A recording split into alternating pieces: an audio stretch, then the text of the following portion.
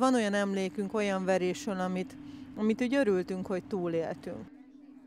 Én tudom, milyen az, mikor mondjuk 12 évesen a mínusz 16 fokba kikerülsz az utcára. Úgy fürödtünk, hogy ruhában, hogy a ruha egyben ki is mosódjon. És egy fiókba laktam, tehát oda vitt haza a kórházból.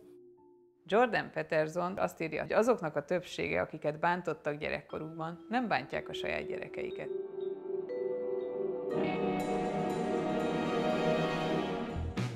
Együtt kitaláljuk, hogy hogy lehet meghaladni a szülői mintákat.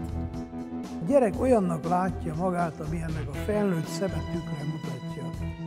Nem tehetünk a sorsunkról, de viszont azt, hogy hogyan élünk és hogyan fogunk ezután élni, arról bizony mi tehetünk. Ahogy mondja Kierkegaard, hogy kinevetlek és bosszút állok. Kicsit össze fogom önöket ugrasztani. Próbáld meg!